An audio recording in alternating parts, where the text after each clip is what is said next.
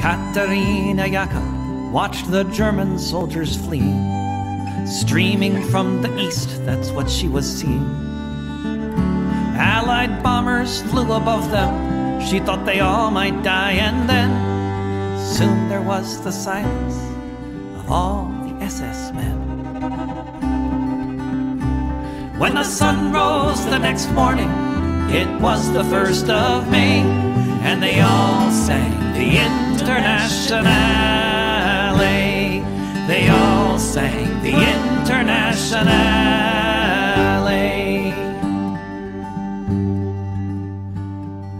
Katerina Jakob saw red flags flapping in the breeze above the Russian tanks, and she fell upon her knees. And so many different voices in so many different tongues sang the most beautiful song that could ever have been sung. In German, Lithuanian, in Polish, and in Dutch, a myriad of melodies has never had been such. In Russian and in Yiddish, Italian and French, emerging from the forests beneath the trench. When the sun rose the next morning, it was the first of May, and they all sang the Internationale. When the sun rose the next morning, it was the first of May, and they all sang the Internationale. They all sang the Internationale. Völker hört die Signale auf zum letzten Gefecht. Die Internationale erkämpft das Menschenrecht. Völker hört die Signale auf zum letzten Gefecht. Die Internationale erkämpft das Menschenrecht.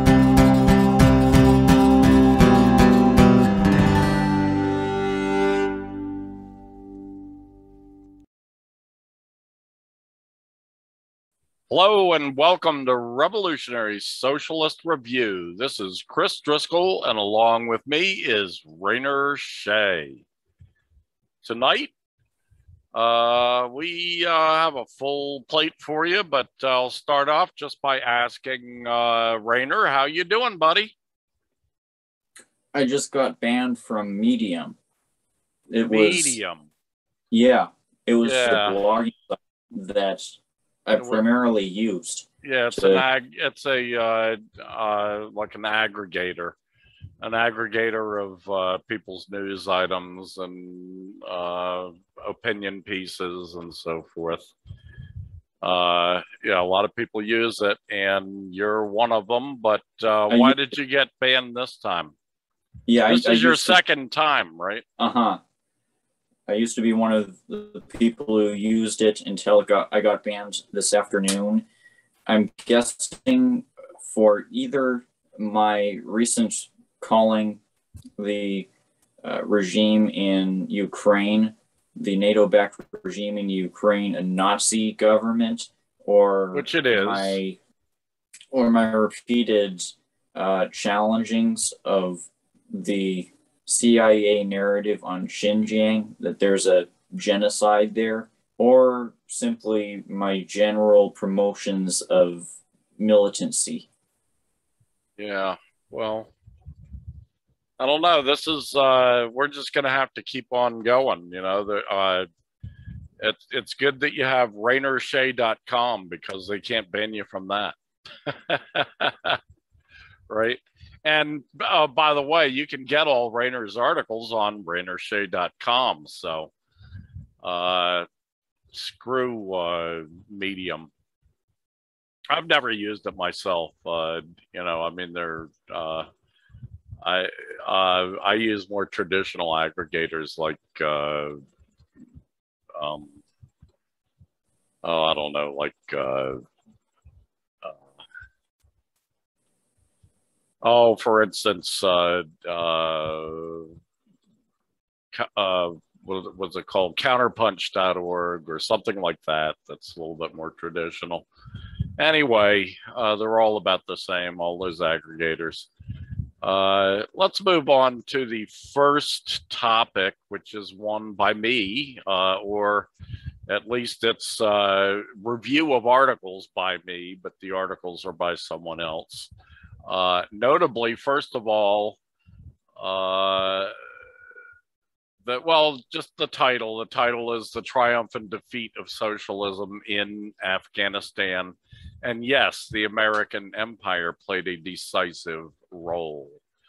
Now, first, I'm going to go to an article by uh, the noted um, by the noted uh, uh,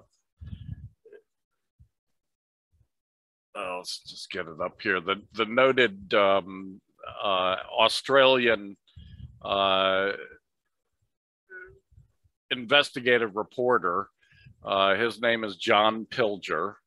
And John Pilger um, writes a, a, a, rather stirring uh, article or commentary on uh, his time in uh, Afghanistan uh, during the uh, period of the People's Democratic Party of Afghanistan, which was from 1978 to 1992.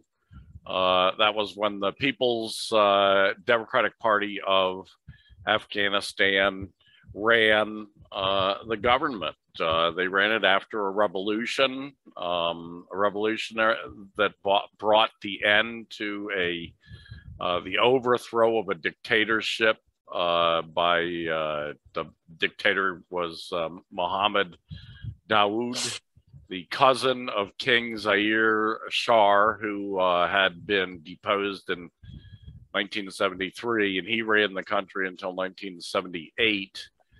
And um, the uh,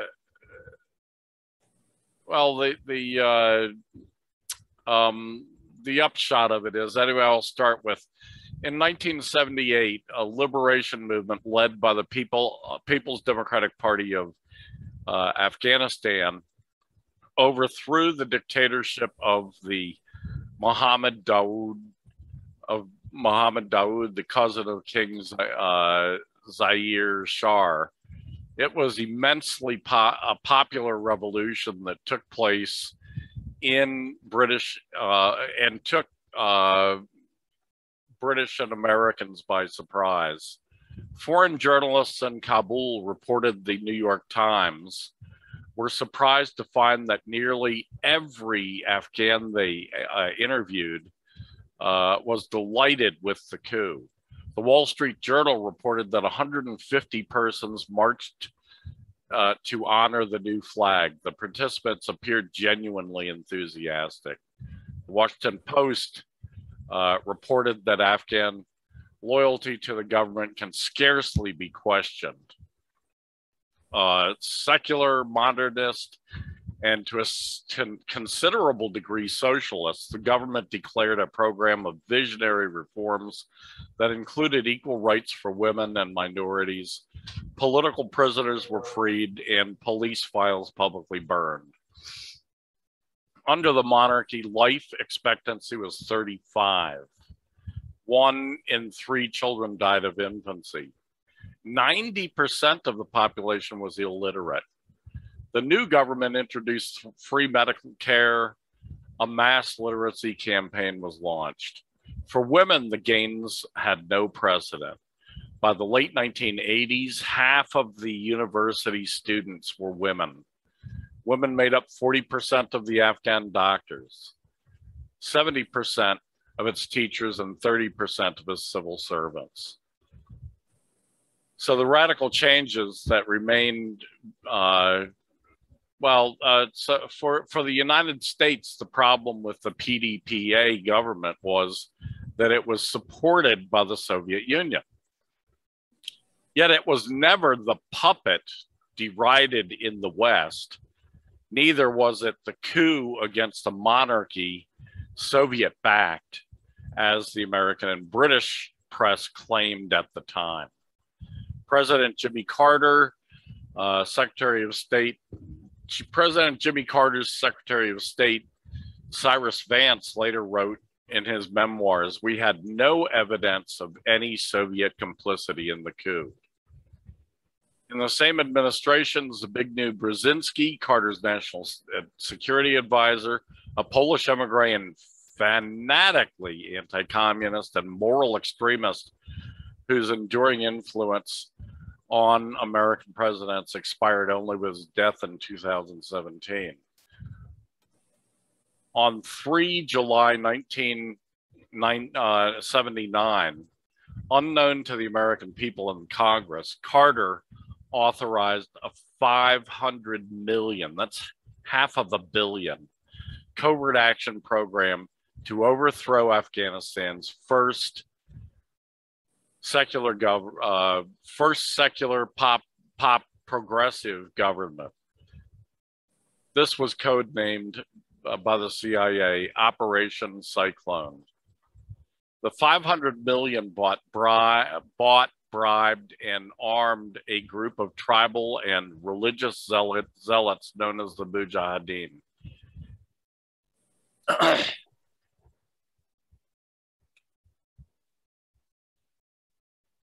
recruited from all over the Muslim world. American secret America's secret army was trained in camps in Pakistan run by the Pakistani intelligence, the CIA, and the British MI6. Others were recruited at the Islamic College of Brooklyn, New York, within sight of the Twin Towers. One of the recruits was Saudi engineer a Saudi engineer called Osama bin Laden. The aim was to spread Islamic fundamentalism in Central Africa and destabilize, eventually destroy the Soviet Union. In August 1979, the US Embassy in Kabul reported that the United States' larger interests would be served by the demise of the PDA government this is the uh, part in, uh, uh, uh in um, uh, italicized, despite whatever setbacks that might mean for the future social and economic reforms in Afghanistan. Read again the words I have italicized, says uh, Pilger. It is not often that such cynical intent is spelt out so clearly. The US was saying that a genuinely progressive Afghan government and the rights of Afghan women could go to hell. Six months later, the Soviets made their fatal move into Afghanistan in, in response to the American created jihadi threat at their doorstep. They were invited to do so by the Afghani government, who was coming under increasing pressure from these jihadis that the Americans had created. Um, anyway, he he goes on and on in this vein, but uh, well, let's just go a little bit farther. In 1980s, I'm. Uh, oh, wait a sec. Uh,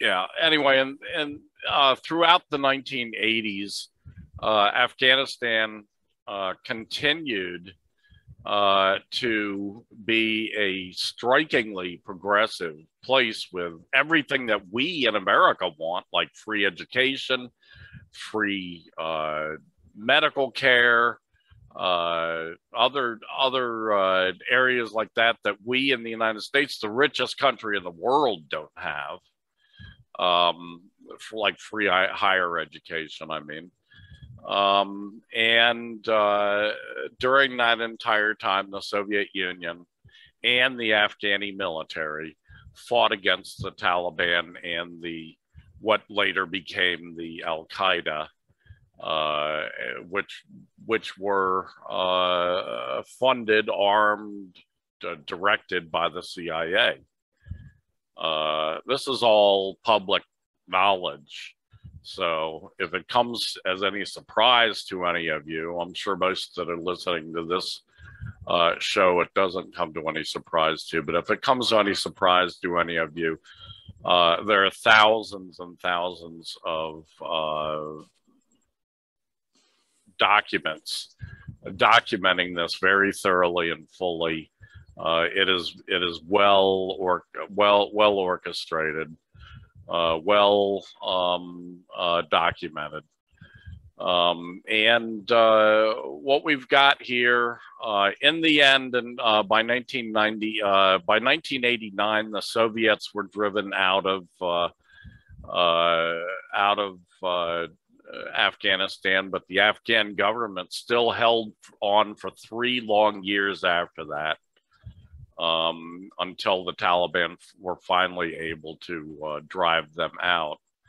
Um, and uh, it was a it was a time that people even today in Afghanistan look back on fondly, look back on with a lot of uh, and you'll hear that oh the the the people were really backwards and that they no this is not true.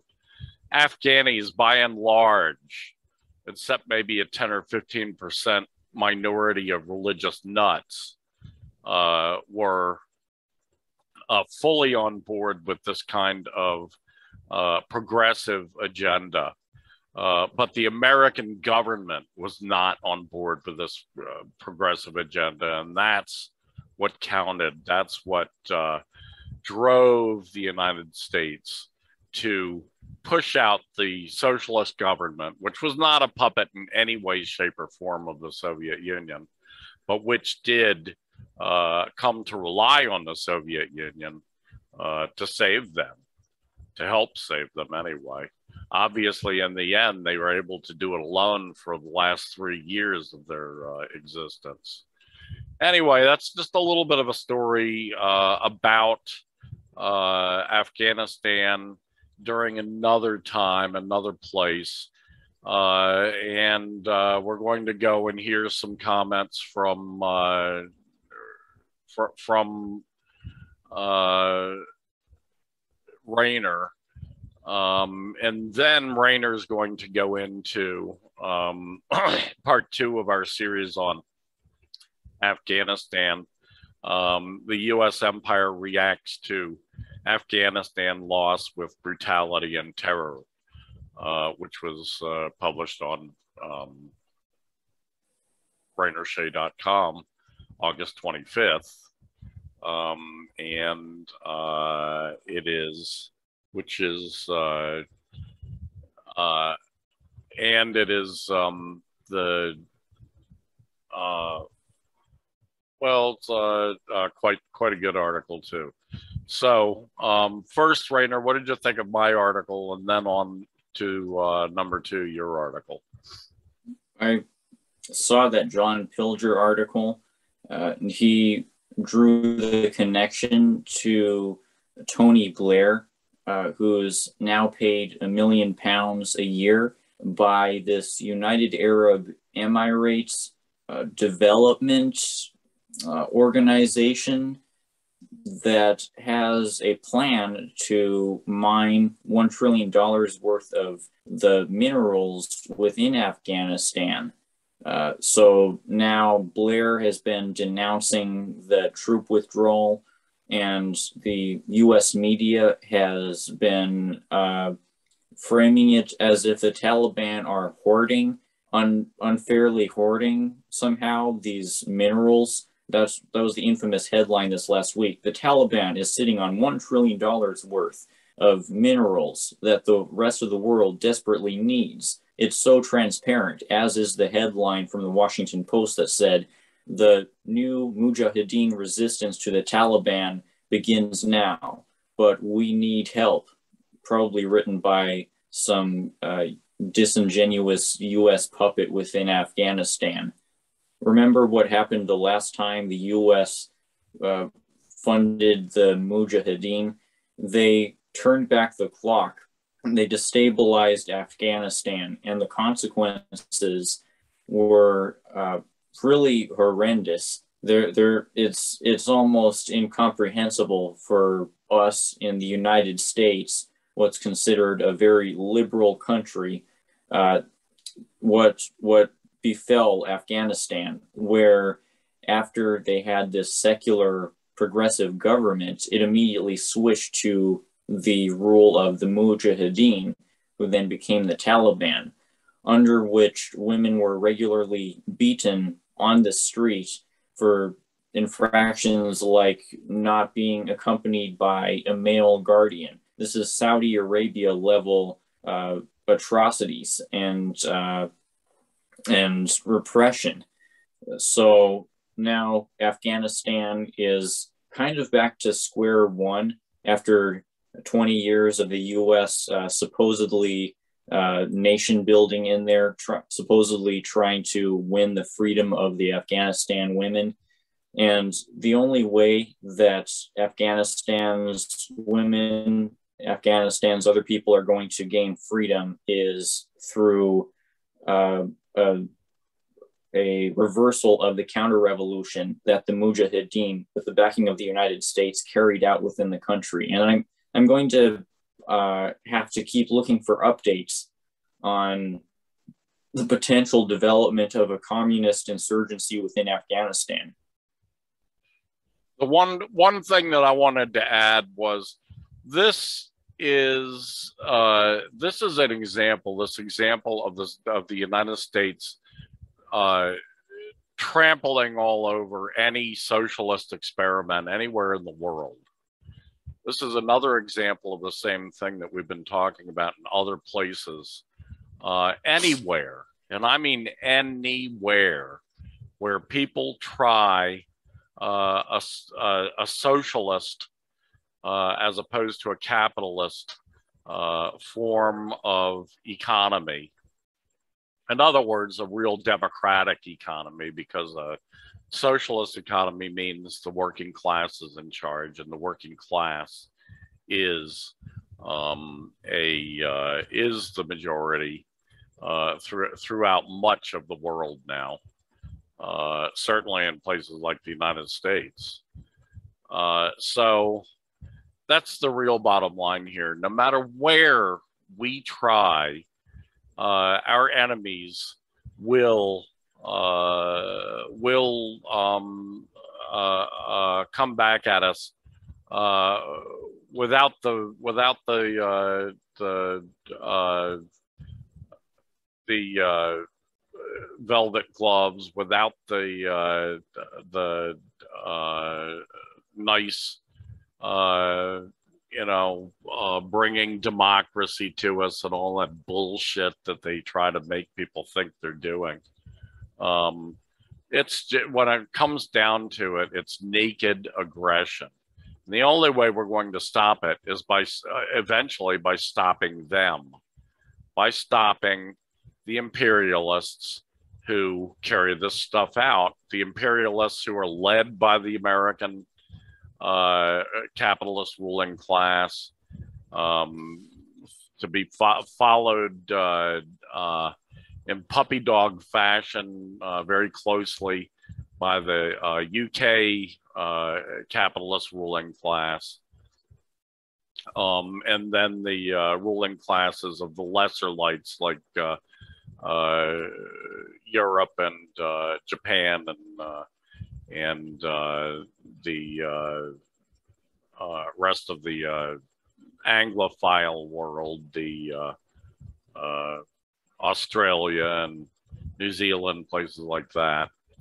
So uh, it's a fight worldwide. It's a fight between us and them. There's no in between. There are lots of people who are in between, but those people who are in between, um, they're going to have to decide one way or another. Are you with us, uh, with the working class, or are you with the capitalist class? The capitalist class is a lot smaller than us, and anybody who's not in the capitalist class uh, doesn't get anything out of it. So, next on the list, as I said before, the U.S. empire reacts to Afghanistan's loss with a brutality and terror. Rainer Shea. As part of their renewed uh, campaign for uh, war against Afghanistan, where the imperialists, as I said, are manufacturing consent for uh, some huge mineral theft and uh, new terrorist proxy insurgency with the Mujahideen. The imperialists are uh, trying to freeze Afghanistan's wealth. They've automatically expanded the existing sanctions on the Taliban to the entire country. And this comes at a time when Afghanistan is experiencing catastrophic homelessness, hunger, economic ruin, a social crisis that is spiraling out of control uh, very fast. And the equivalent is being done to places like Ethiopia, where the imperialists are tightening their cruel sanctions against the country at a moment when a, a new famine is emerging within the country. And the imperialists are rather dishonestly putting the Ethiopian Ethiopian government on equal footing with the TPLF, the terrorist organization that the imperialists have oddly refused to classify as a terrorist organization. This is similar to how in Afghanistan, uh, in the case of uh, Afghanistan's East Turkestan Islamic movement, last year the Trump administration took the East Turkestan Islamic movement, this Uyghur terror group, off of the US terrorist group watch list, claiming that there was no longer any evidence for them engaging in terrorism, even though in reality, in this last year, uh, directly as a result of Trump's taking it off the watch list, the ETIM has un- undergone a massive increase in its arms, logistics, manpower, and finance. And it's emerged as an increasing th- terror threat to China.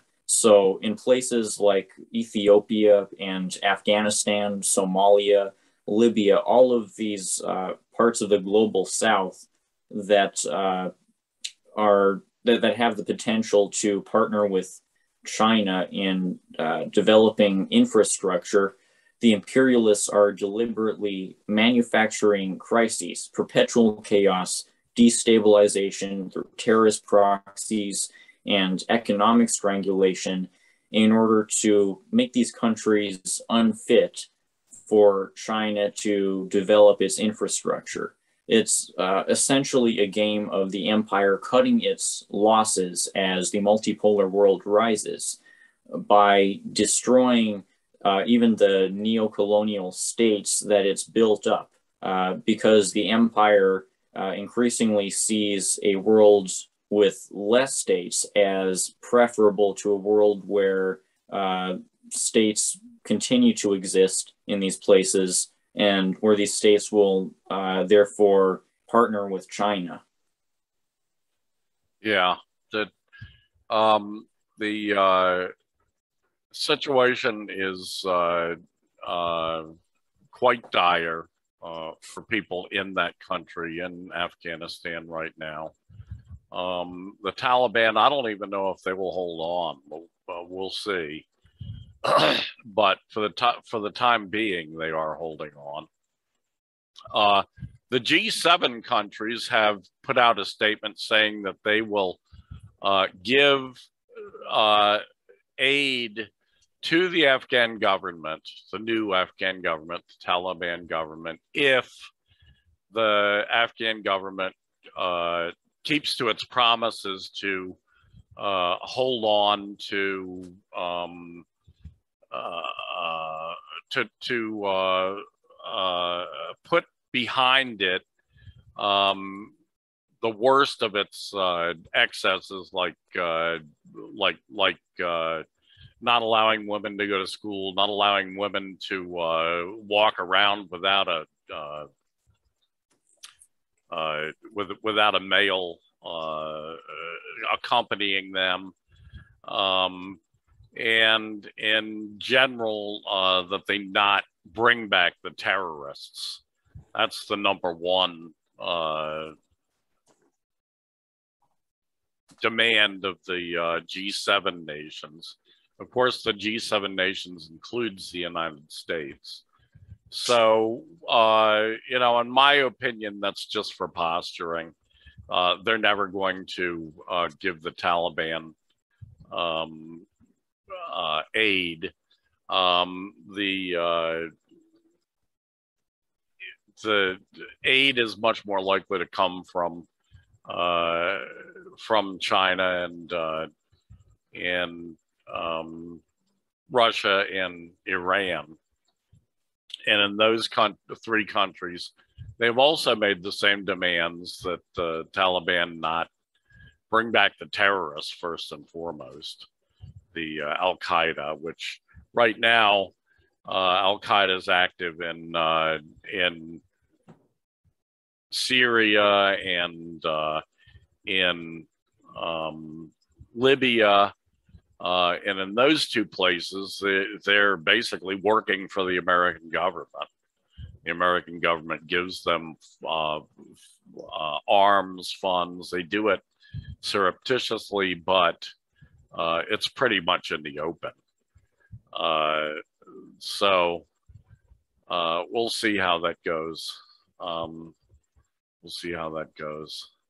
In any case, uh, the next on the list is uh, Alba movie, move, uh, the move, the Alba movement, which is the basically the uh, pink tide, as they're called, uh, socialist countries of uh, South America, and uh, it's a couple in in Central America, basically El Salvador and Nicaragua. But uh, it's uh, El Salvador, uh, Nicaragua, um, the Venezuela, um, a couple of other uh, countries in uh, South America, and ALBA, uh, which is just the, the name of this movement of these countries, has put out an alert um, about a coup underway against the government of Pedro Castillo in Peru. It is calling for na- international solidarity, saying that uh, say, saying that the um, uh, basically that the uh, that that uh, countries need to come together to stop to to put a stop to this. Um, it's not a very long statement. Was put out on Sunday, August 22nd, uh, 2021. Um, and uh, it's uh, there's not a lot to add to it so far. We'll bring you more as it comes out, but it's pretty tough to get any uh, information on this because uh, of course, in America, it's uh, by all American media, it's just basically blacked out. Uh, so there you have what we have so far. Uh, Alba movement uh, issuing uh, an al- alert on a coup d'état underway in the government of against the government of Pedro Castillo, and you'll recall that uh, Rainer just a couple of weeks ago gave the uh, report on uh, Pedro Castillo's uh, uh, inauguration as president just about a month ago or so. So it's not very long into it, and they're already starting. The uh, Alba did mention that they're positive that this coup is coming from right wing parties with fascist sectors um, uh, and hu- human rights violators. Yeah, yeah. I wonder if this is going to be another Bolivia coup situation where within only a year, the masses following the coup uh, have managed to reverse the coup. Because uh, so far, the attempted coup by uh, Castillo's uh, fascist opponent, Fujimori, who was uh, inflaming all of this racism and anti communism, uh, trying to paint the election results as illegitimate by painting the votes of the indigenous communities as illegitimate. Uh, I wonder if after this coup occurs, it's going to be another Bolivia situation where some kind of brutal junta uh, may be able to hold on for a time, but where the masses ultimately prevail uh, through relentless protests and blockades and armed struggle. Yeah, it could be. Very well could be. Um, Pedro Castillo in Peru, uh, not very, he's in a kind of a shaky situation right now because he's brand new. Um, and uh, despite the fact that uh, he was supported overwhelmingly uh, by the electorate, um, the right wing in Peru is uh, uh, just as strong as it is in uh, in uh, Bolivia, which means not really that strong. It represents ten or fifteen percent of the people, but it's strong because it has the backing of the United States. It's strong because it has the uh, surreptitious uh, or covert uh, aid of the United States in carrying out its uh, mission. So we'll see what we see. We'll see what we see with that. Meanwhile, um, next on the list is, uh, let's see, loss of land and settler, and settler colonialism's violent reaction. Uh, August 23rd, uh, 2021 by Rainer Shea. There's this uh, theme that I see recurring within dystopian science fiction where uh, after an apocalypse has occurred, uh, humanity, humanity is living in vastly reduced numbers and on far, far less land than it, it used to be able to access. We see this in the Hunger Games. We see this in uh, Snowpiercer, where uh, everyone is having to live on this uh, this little train after the whole world has frozen, and the the nature of the ruling regimes uh, within these post apocalyptic fictional scenarios is always one of uh, existential reaction, I would call it, to the fact that uh, they only get to rule over a relatively minuscule number of human beings, and they only they have a relatively minuscule amount of land to rule over. So it's like they're compensating for this uh, historical weakness uh, by being as brutal as possible, and they use humanity's near extinction as an argument for the righteousness of their rule by claiming that only they uh, have the authority to uh, preserve humanity from total annihilation.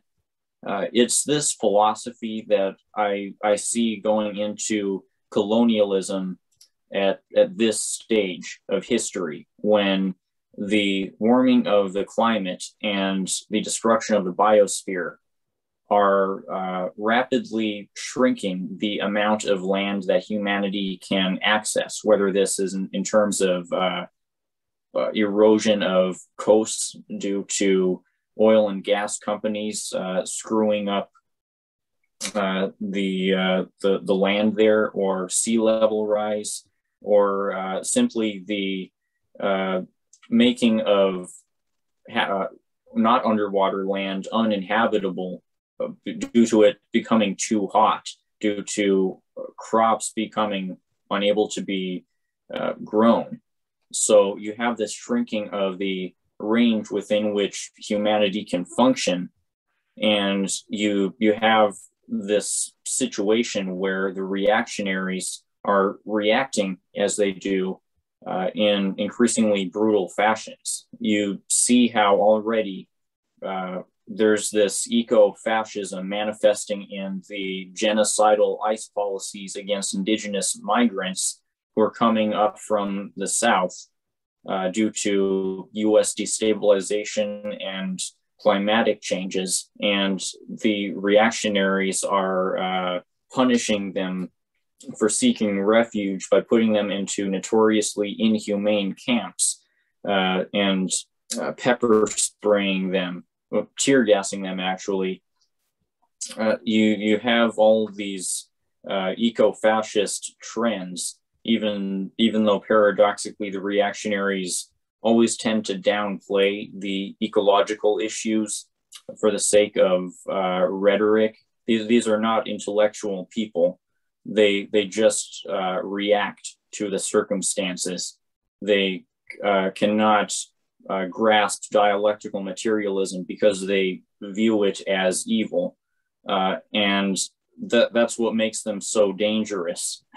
They're uh, at the same time acutely reacting to the circumstances of capitalist collapse and uh, climate climate doomsday, and also claiming that capitalism and the planet are uh, pl- still plenty strong, and there's nothing really to worry about in those departments. Uh, that's that's the absurdity, the madness of the capitalist reaction right now, and it ties in with settler colonialism's desire to grab up land for the sake of the white nation. As the land becomes scarcer, as resources become scarcer, settler colonialism is going to increasingly uh, throw the colonized peoples under the bus. And we're seeing this in realities like, well, the fact that Black communities are uh, statistically some of the most vulnerable people to floods. They they live in more low-lying areas due to them being poorer and due to poorer people tending to live in lower-lying areas. So it's a feedback loop of subjugation and, and suffering. Yeah. Um, true that. True that. Okay, next on the list, uh, Extin- Extinction Rebellion ongoing in London. The Extinction Rebellion, which I'm sure most people have heard about, uh, uh, a uh, protest movement that started a couple of years back. Um, this week, uh, starting on Monday, and uh, it's ongoing for for two weeks. So two weeks from this Monday this past Monday. Uh, they have been holding uh, protests all over the city of London. For instance, we have one here. Uh, protesters descended on Oxford Circus, where they blocked traffic with a giant pink table, danced peacefully, and heard speeches as climate demonstrators and demonstrations in London continue. Earlier, the environmental movement gathered outside the Brazilian embassy to protest deforestation and attacks on indigenous people on the third day of its impossible re- rebellion. Protests in the capital uh, due to la- uh, are due to last for two weeks. Uh, the Extinction Rebellion is aiming to disrupt business as usual in London with its latest set of demonstrations as uh, the climate crisis unfolds. More than 100 people have been arrested uh, since Monday, uh, the, the day the action started. So uh, we'll keep you updated on that um, as it goes along.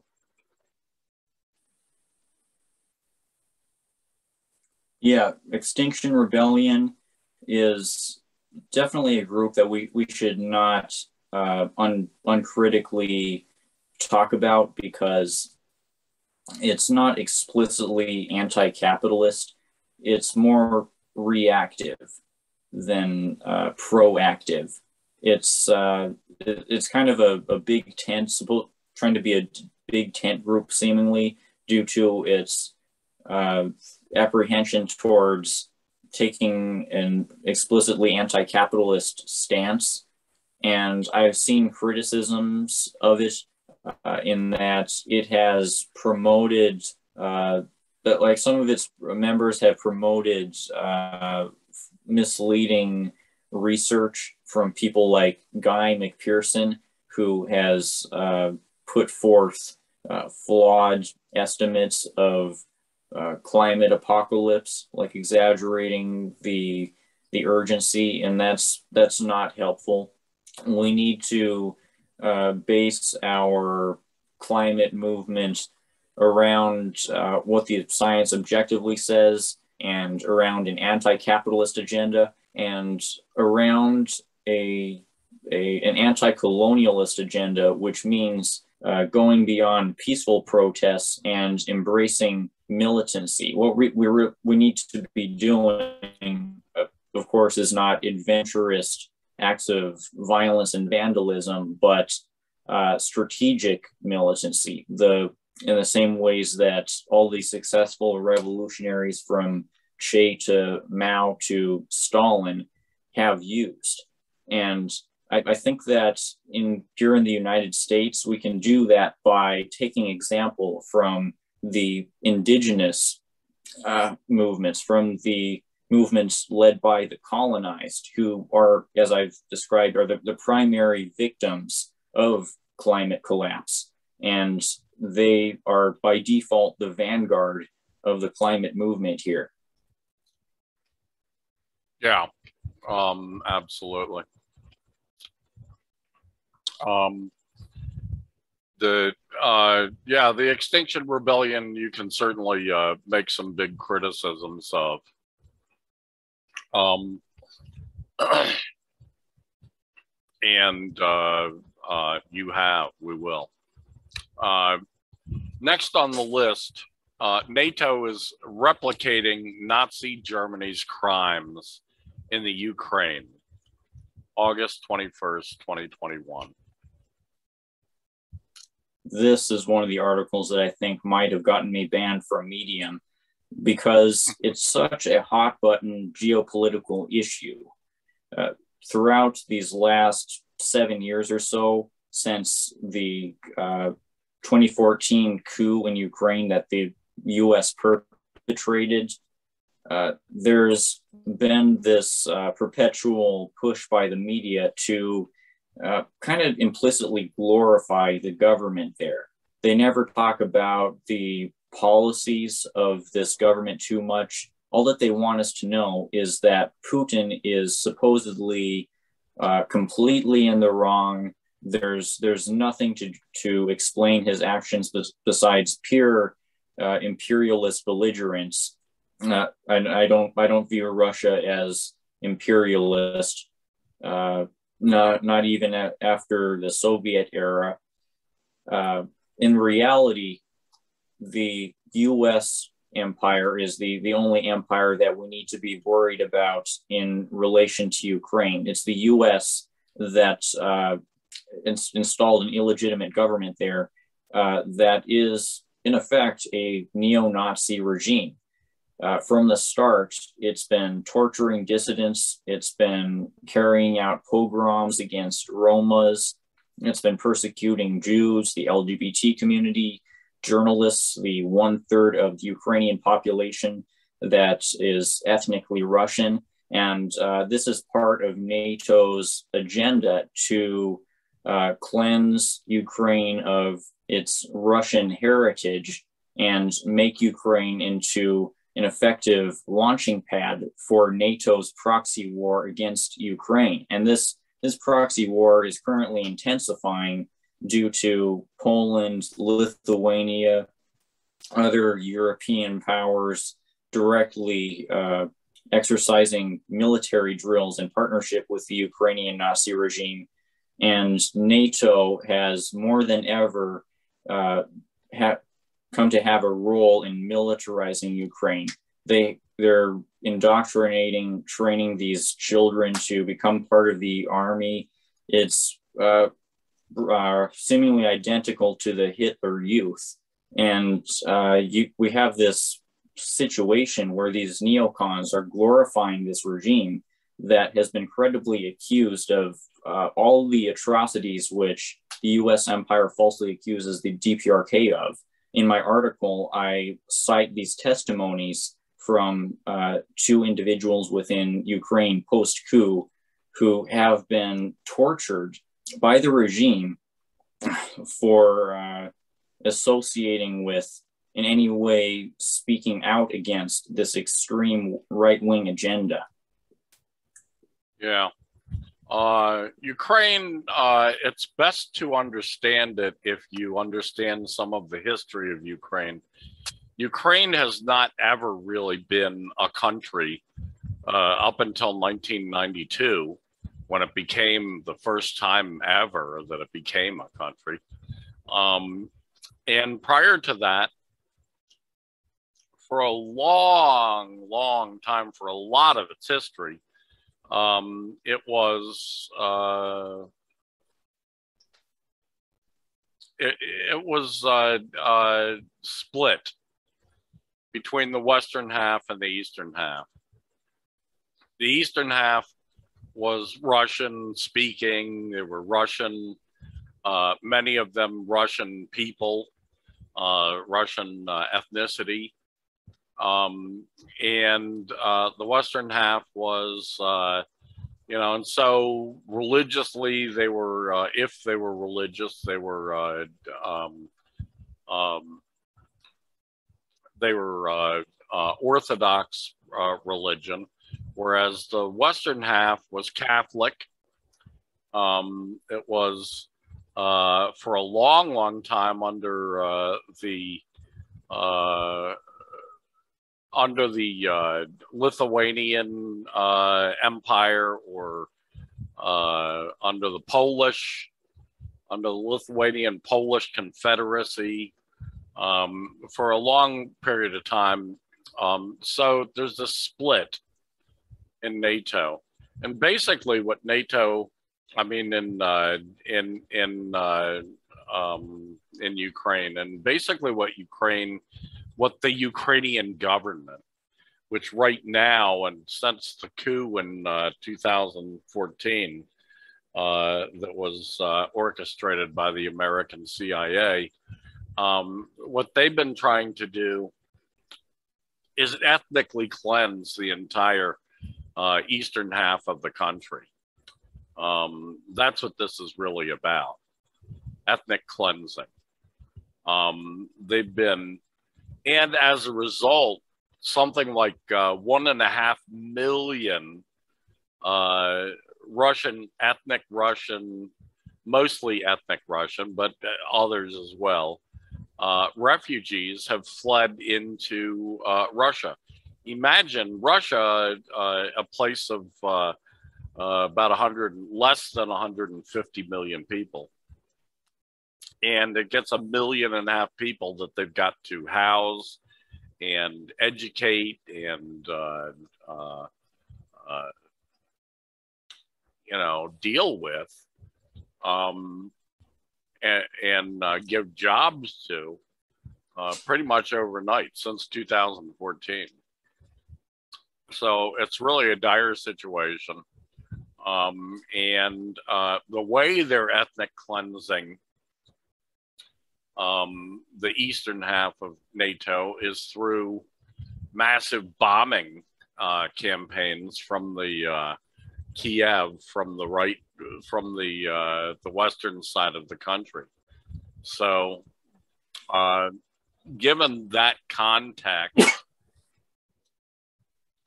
um, yeah, the Nazi regime, as you call it, um, is uh, and uh, the U.S. backed regime um, is is uh, uh, there's no possible way uh, to uh, to support it um, unless you lie, lie, lie about it, and that's what the American government does. They lie, lie, lie about it.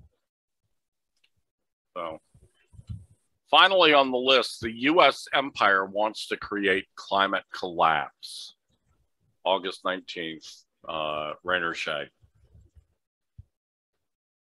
Climate collapse is not inevitable, and a collapse of our civilization is not inevitable. Uh, this is the narrative that it is inevitable is I, I think uh, partly contributed to by uh, unnecessarily doomist first world uh, environmentalists, like the author of the famous climate paper Deep Adaptation, uh, Jem Bendell, there are a lot of uh, flaws in his analysis. He cherry picks data to support his narrative that a, co- a full on collapse of our society is unavoidable at this point.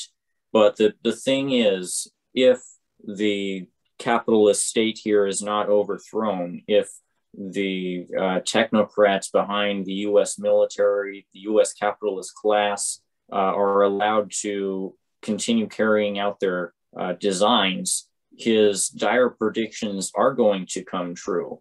Uh, so it, will kind of be a self fulfilling prophecy uh, where if the US left uh, continues to uh, accept these doomist narratives as true, uh, its, its, its destiny is going to be, it, its perceived destiny is going to come true. We're going to be the architects of our own design by failing to sufficiently organize against this threat of engineered capitalist, imperialist, colonialist collapse.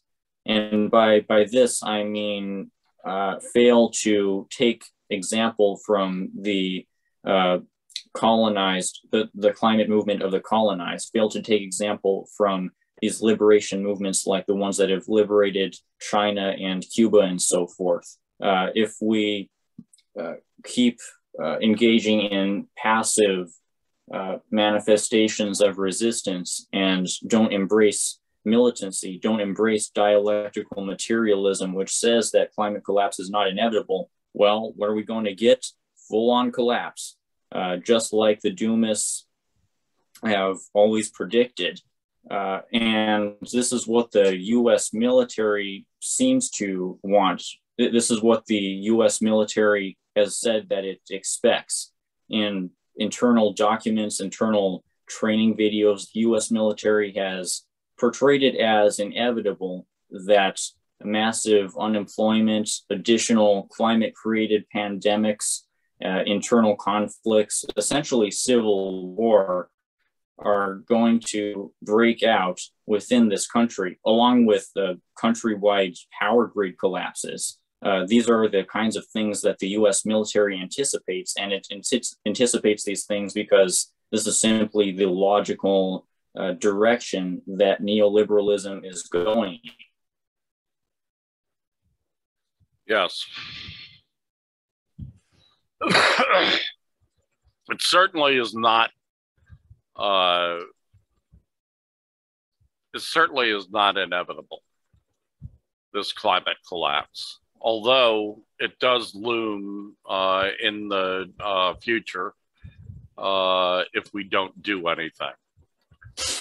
Um, what we need to do now is a lot more than what we're doing.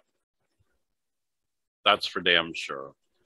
The latest uh, IPCC report um, is pretty dire. It's the most dire uh, report that they've had out yet. Um, it came out two weeks ago, and uh, it predicts even in with the best possible scenario that we'll still have uh, something between uh, six and ten feet rise in uh, the uh, uh, in in the oceans around us. Um, which means either that uh, that a lot of land will be swallowed up, uh, and this is just between now and the end of the uh, of the uh, of the uh, century, so another uh, eighty years. we'll we'll have a large part of the of the coastal areas uh, which basically is uh, a whole hell of a lot of America because America's surrounded uh, all on the East Coast by the uh, Atlantic, all on the West Coast by the Pacific, all on the uh, southern coast by the Gulf of Mexico, and all like halfway across the United States on the northern coast uh, by the Great Lakes, all of which are uh, uh, going to rise that six to 10 feet. Um, greater uh, tornadoes, greater hurricanes, more and more devastating uh, uh, wildfires around the country. So we really do have to do something about it. And uh, unfortunately, uh, the uh, pretty much under the current economic system, capitalism, uh, it's not going to happen. Um, the uh, EU is a little bit less uh, severe than the than the uh, Americans are, but still, even in the EU, they really aren't doing what they need to do. They really aren't uh, taking this seri- seriously and uh, making the technological changes and the organizational changes necessary to really uh, beat back this uh, great uh, climate catastrophe that's looming in our not too distant future.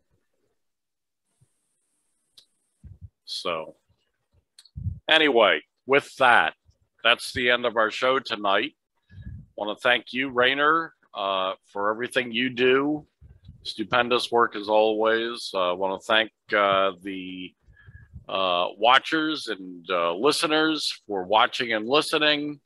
Please come back again next week when we'll have another episode. And until then, I'll leave you with the words of Shakespeare, who said, I bid you a sweet adieu.